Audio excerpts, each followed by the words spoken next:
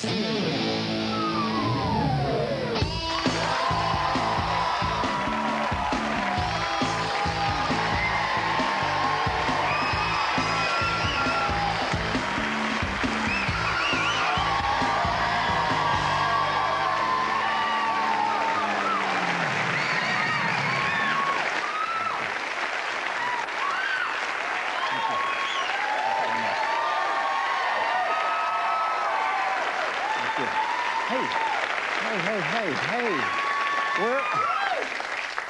you think Pink's partying tonight?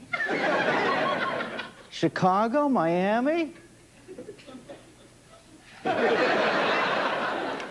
Well, an obese man in New York City this week is the first litigant to sign on to a class action suit against McDonald's, Burger King, Wendy's, and KFC, saying that the caloric content of their product is responsible for his overweight condition and his attendant diabetes and heart attacks. All right, listen to me, my friend, and uh, believe me when I say I would have never said this had you not filed this lawsuit because there's a certain unspoken etiquette in this culture, a, a decorum that prohibits people from being frank in issues like this. But, but now that you've started it, the gloves are off, and I, I think for, I speak for the rest of the class when I tell you you should stop eating so much, you fat fuck.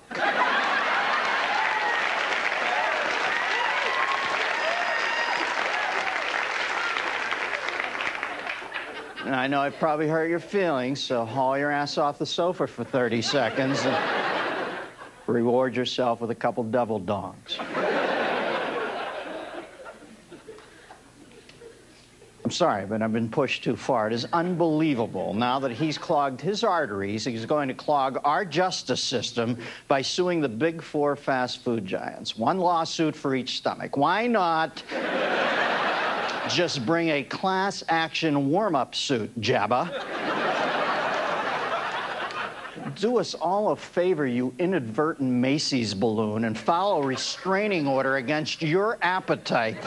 This country is going to hell in a handout basket because morons like you spend the first 40 years of your life growing your ass, and the last five you expect us to save it for you.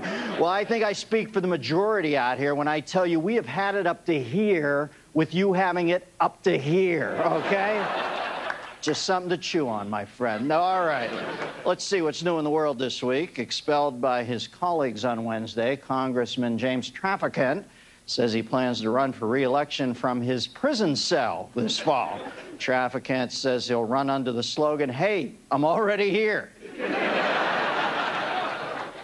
and former President Jimmy Carter has offered to mediate the labor dispute in Major League Baseball. However, Carter cautioned that since he's only sat in on negotiations with rapacious dictators sucking their countries dry, he might not be fully prepared for the level of greed he'll encounter in baseball. The uh, city of Paris has closed off two miles of road and trucked in tons of sand to create a temporary beach along the River Seine. Yeah, because that's why I want to go to Paris, not the Eiffel Tower, the Louvre, but Philippe and a cocksock made out of an eye patch and two Twizzlers. That's, that's, that's why I'm going to the City of Lights on my vacation. Hundreds of dead squid have washed up on beaches along the San Diego coastline this week. What can I say? Sometimes my experiments go horribly, horribly wrong. and former Serb leader Slobodan Milosevic, on trial for crimes against humanity, complained of heart problems this week. Relax, Sloby. It's called a conscience. You'll get used to it. on Monday, Greenpeace protesters leapt into the sea in front of two ships carrying nuclear waste off the Australian mainland. Way to go, guys. Nothing like trying to force cargo ships brimming with radioactive material to make dangerous, lightning fast maneuvers to raise awareness about the possibility of a cataclysmic incident. and the National Urban League reported this week that blacks are making gains in the business world but continue to remain far be behind whites. In the interest of furthering equality, the group is planning a corporate scandal by a black owned company later this year. Uh, despite an, Despite an appearance by the Pope, World Youth Day in Toronto is expected to draw a significantly smaller crowd than in previous years. See, the Pope can't draw like he used to. they got to send him out with a little bow wow now. Because the pontiff, be it right or wrong, is not thought to be street.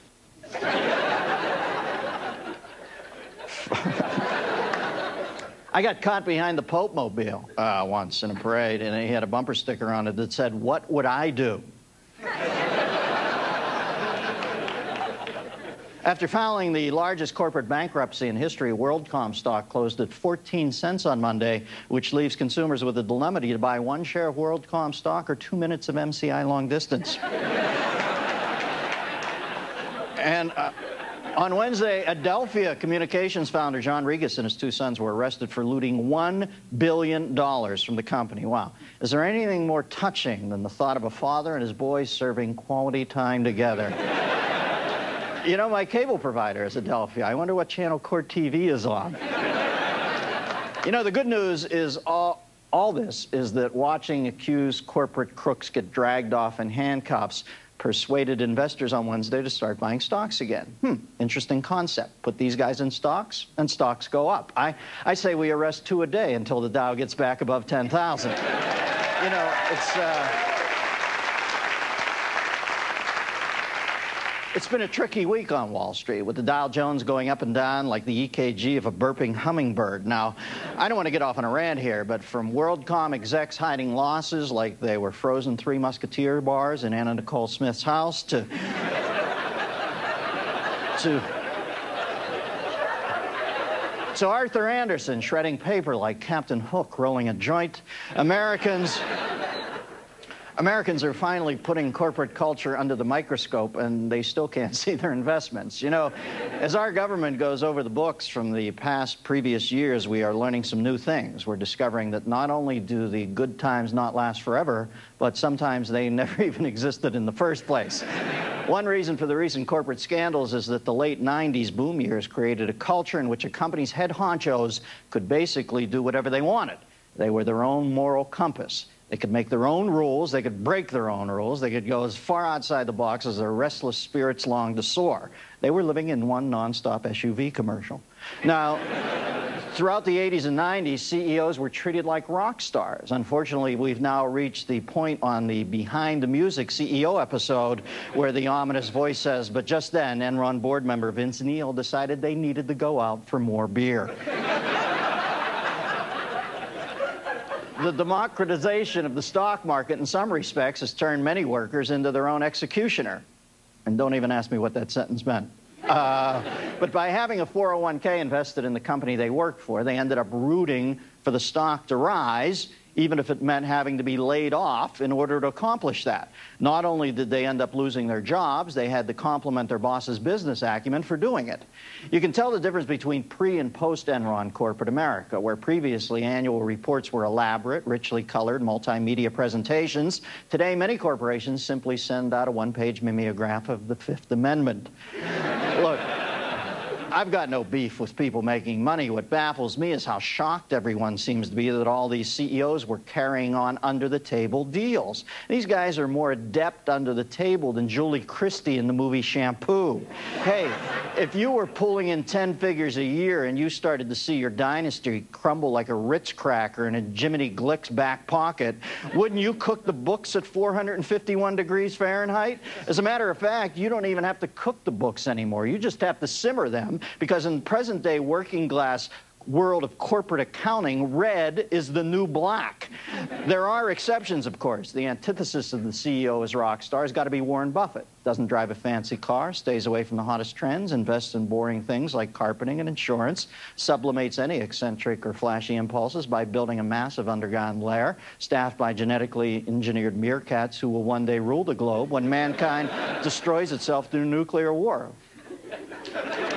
Come on, I can't be the only one who reads his annual reports all the way through. I put all my money in Jimmy Buffett. I don't know how the stock's doing, but the shareholder meetings are an ass kicker.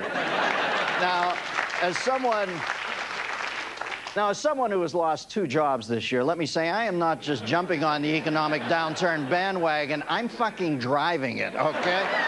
but unfortunately, Unfortunately, as our system stands, the one who always ends up shafted is the little guy, not the billionaire CEO. It's the 50-year veteran, the guy who started working at the foundry when it was just two steamy, cramped rooms in someone's basement, but slowly inched his way up to assistant foreman through sheer elbow grease. Now he's 30 seconds away from retirement. The company's going bankrupt, and his pension fund is emptier than the stands at a Chumbawamba concert. So he's got to get a second job bussing tables at one of those panda shit Chinese food joints. So I don't want to see some CEO going to jail for three years at a minimum security prison that doubles as a community college during the day. I want them to witness the damage they caused up close. I think they should be sentenced to community service, sorting the shoe bin at a Goodwill in a low-income neighborhood to get a sense of how real people have to get by. Make Kenneth Lay work the drive-through window at the Jack in the Box so I can literally hear that lying bastard's voice coming out of a clown's mouth. Just, just don't...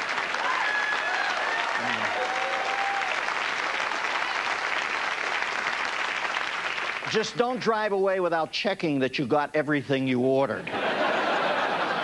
What I'd actually like to see is these guys doing hard time in hard prison. See how they like it when we let the warden get creative with the books, keeping track of their sentences. You want to make sure this doesn't happen again? Put these losers in with the general prison population who are doing 10 to 20 for stealing a scintilla of what these guys did. Then make sure there's a live Big Brother shower cam feed into every other CEO's office in the country. You're going to think twice about cheating the numbers when you spot your ex-golf partner all lathered up with a wind chime hanging from his ass. Of course, that's just my opinion. I could be wrong.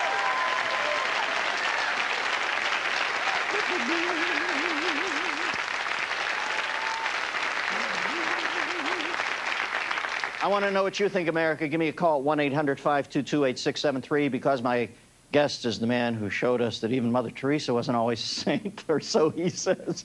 Any, I haven't believed she was. Any crooked CEO would find prison a welcome alternative to the punishment of his eviscerating pen.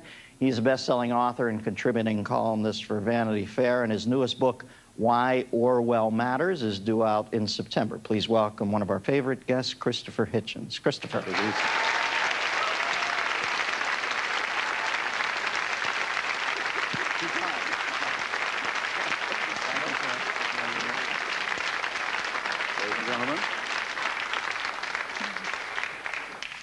Chris, not many guests have the pinstripe suit and the sandals on. I'd rather do class war than orthopedics, but it's a very long story. It's a sad story. You shouldn't mock my uh, no, afflicted you look good. foot. You're an eclectic man, and you're dressed thusly. Now, um, now, by the way, who was that young presidential candidate who you've taken a shine to? It seemed like such an unhitchens-like article. What is it about that young man that you like so much? The senator from North Carolina. Yeah, Vanity Fair. What is his name his again? His name is John Edwards. He and should probably get a more memorable name. Yeah, well, look. I don't mean to say I'm advising him on anything or anything like that, but he's, um, he's sort of the real thing.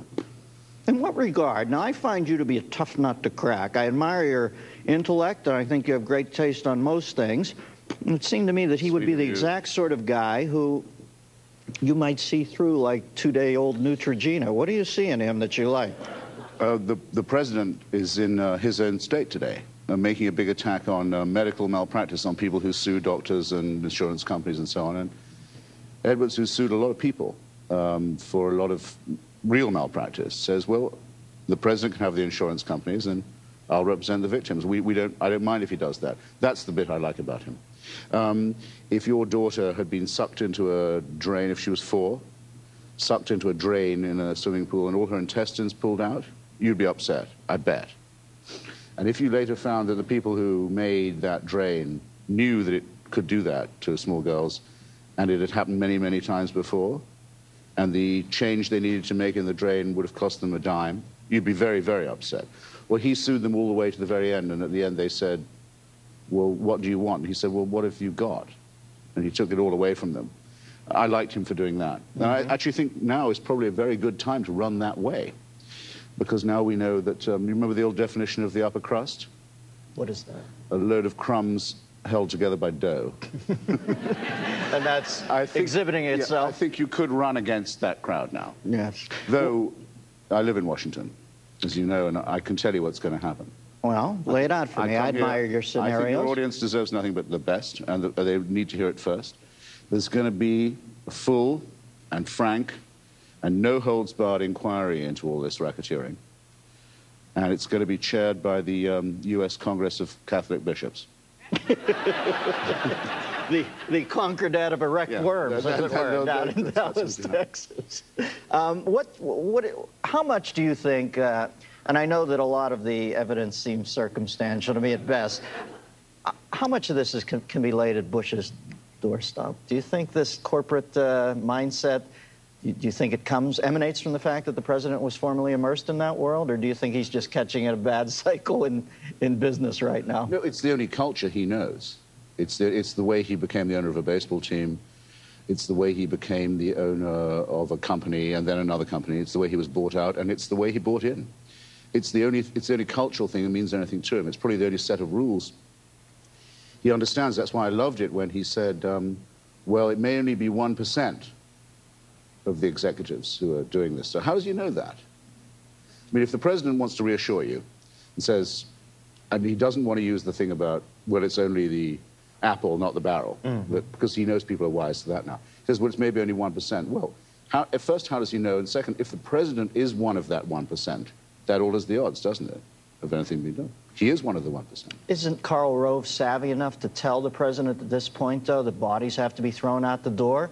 Isn't he a savvy enough politician to know that if he is part of that 1%, he better make himself an exclusive member of that 1% club because the rest of them better be pounding rocks somewhere in uh, prison? That's what, that's what they'd like to do, but um, they still want your Social Security in the scheme, and mine, and everyone else's here. Aren't you glad?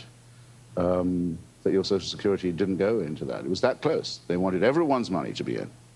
Uh, that it's like with McDonald's. They, they wanted to they, give you the option, they didn't don't they, know where to stop. They can't rest. Wait, wait, before we go, yes. they wanted to give you the option of investing a portion of your money into the stock market out of your Social Security fund, right? It wasn't mandatory. It wasn't like they were going to make you step up the lines and no, fork it over. But it would be the camel's nose under the tent. In other words, everything would be. Uh, what the fuck does that mean? The camel's nose. Yeah, oh, well, the camel's nose? Yeah. Follow me closely here. Okay. It goes under the tent, you think, you pat it, stroke it, think, hey, it's, a, it's optional. And then the rest of the camel follows, of which there's a lot. It's a, Is that an old Ross Perot one? No, it's an old... Uh, it's a... It's a metaphor. I, I, I dwell in the world metaphor, but, but the, no, but the president still says he thinks it'd be a great idea if Social Security was in the market. And maybe now if everyone put all their money in, it would go up. But is that why you're not doing it, or is it why you are? Well, what uh, do you just do? You think he's flat out evil at the core? I'm always interested by no. people who think that Bush is. Uh, he doesn't seem evil to no, me. No, not at all. Least. No, he's not. His his his eyes are so close together that he could use a monocle. uh, but that's not. That isn't a sign of evil. Um, and he doesn't. And he's not very, very, very, very bright. But he doesn't. But he doesn't believe he's bright. But the great thing is president. The, he was a jerk. There, there, are people who are stupid, um, and there are people. Uh, what you worry about is what they don't know, and then there are people who you worry about because of what they don't know that isn't true. For example, Jimmy Carter was much smarter than Mr. Bush. But a pretty shitty president. But a very right? bad president indeed, because he thought he was clever. He thought he was smart. That's very, very bad if people, if, when stupid and conceited people meet, or when you... that's the dangerous confluence of events. feel your social security, yes. Yeah. What do you feel would be a good signal to send to the American people vis-a-vis, uh, well, we saw the Rigas family led away. I thought that was a very symbolic gesture. As, as Mike Barnicle kept reminding me, make them do the perp walk last night. Yes. Mike's always got that tough police blotter lingo, but obviously that was a symbolic gesture. What do you think they should do now to these men, though, instead of just making them walk in cameras? What, what sort of uh, punishment befits that crime?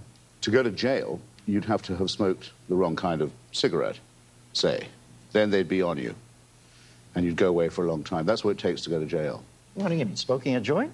Wrong, wrong kind of cigarette, then you can go to prison. Um, for these people, it takes longer because they can hire very good lawyers.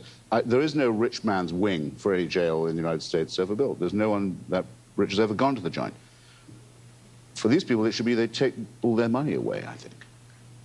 Make them give the money. Is the money even...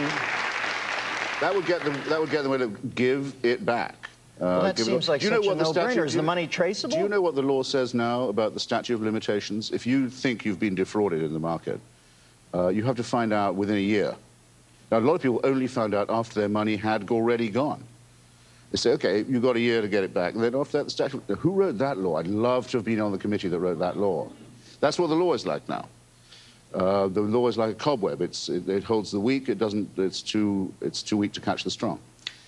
So knowing that that's true, say, well, all right, first give, the, give all the money back, and then we'll, later on we'll have a trial. Mm-hmm. Find out whether you did wrong.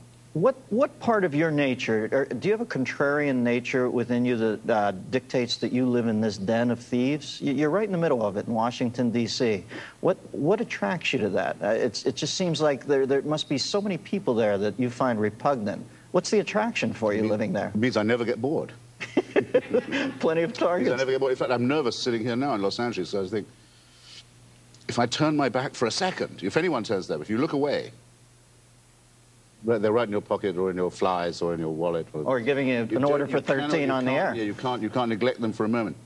But no, but I love, I love it. I mean, who would want to be anywhere else? What, uh, what do you see happening in the midterm elections here? What would be your opinion? Do, do they wrest back control of the, uh, the Congress, the Republicans, and get some of their uh, judges appointed, or does Daschle able to hold them off at the pass? Well, uh, the Democrats have been so imitative. They're so, they're so scared of Bush. They're so mesmerized. They watch him and then think what they should do to be more like him that I think they won't be able to excite people in that way. But um, Bush hasn't noticed that. Bush is still willing to treat them as antagonists. And I think um, he's realized already he has no coattails. I, I know it's another cliche. It's a, it's a metaphor, by the way. The coattails. coattails, The coattails it's a- is a the- metaphor. the- like the camel on the peop- humps. People who run, people who run as, yeah, people who run as Republicans don't get the vote that Bush's approval rating might suggest. It's like, like that. Right. Now, do you think... And uh, the, the big party is still the people who don't vote. Let me ask you this. Your friend, uh, or not your friend, your acquaintance who you seem enamored of, Edwards, who I'll have to scope out now because I'm intrigued by your interest in him, he decides to run and asks you for your help uh, in crafting some speeches and that. Would you do that on a back channel, or would you feel that would violate your journalistic uh, pedigree? It, well, let me just say, I think it would violate his chances of becoming the next president. so I think More than it would I violate think, you know, yours. for, for, for both our sakes, I should probably say no. Yeah. Well, Chris, what's, uh, what's the uh, Orwell book about now?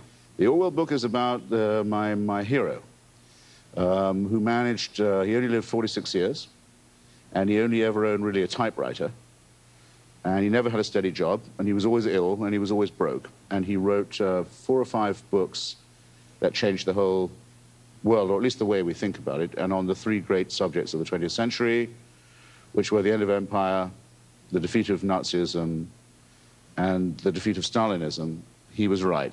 And everyone else was wrong. Well, uh, uh, you should price, price your tome at 1984, and you'll have a good sales that's- technique. Mr. Hitchens, always an interesting guest.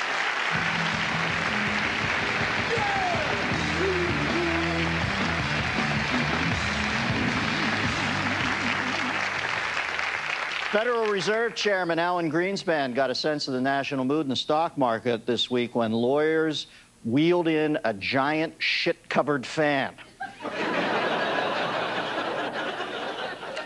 Not helping the outcome of his bribery trial was the way Ohio Representative James Traficant kept making charts to show the jury what their cut would be if they got him off. and here Traficant's hair hovers an inch above his skull, then zips off for a spin around the room on its own. Despite making billions of dollars on software, amazingly, Bill Gates still does not know how to operate a computer. Here, Vice President Cheney tries desperately to experience a vicarious bite of another man's greasy cheeseburger. Just as Defense Secretary Donald Rumsfeld was telling the press not to worry about an attack of 50-foot killer crayfish, to his horror, General Richard Myers saw one lurking right outside the window. And German Chancellor Gerhard Schroeder had heard the rumors that Polish President Kwasniewski would use his big, over-exaggerated laugh to get a look at his package. I didn't even try to get that Polish name right. Now, Yasser, remember, after you give them the number, you inform that for an additional 50 cents, you can dial it for them. I'm going to strangle you, and I want you to let me. I'll explain later. Not handling his losses in the stock market well has been one-time leading man Elliott Gould. House Majority Leader Dick Armey felt he should explain when Representative Nancy Pelosi happened upon his sketchbook of headless nudes jumping rope. Though no longer a paid spokesman for Viagra, former Senator Bob Dole now wanders the countryside alone, helping strangers with their boner troubles, and he moves on. Rather than set up a lemonade stand like he did last summer, Robbie tapped into the county's power grid and began selling affordable electricity way below market cap.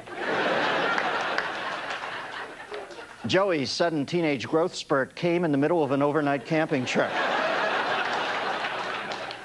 Bingo and Tran earned a nice living making sure nobody sped through the school zone. And finally, come on, Madden, it was Pat Buttram who played Mr. Haney on Green Acres. Shit, Miller would have known that. Guess what, folks? That's the news. I'm out of here. Good night, ladies and gentlemen.